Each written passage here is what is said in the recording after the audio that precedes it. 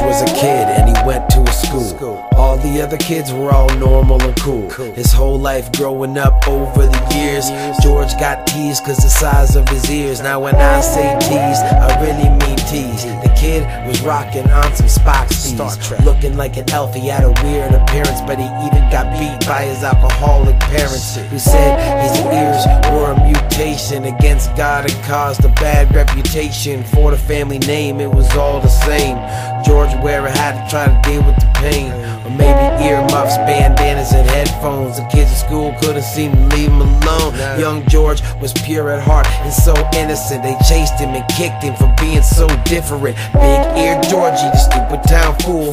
One day discovered his ears were a tool. He could hear things in infinite detail, like X-ray vision and audio braille. Over time he practiced his listening and worked his inner silence as a discipline. The viciousness of other people in the city, they try to tear him down for their own negativity. Select hearing at a spitting distance. It all changed one day in a quick instance. George had a vision, alien ships that were near, and he knew they were coming cause he could hear them. He warned of the alien plot, but of course the people just called him Big Ear George.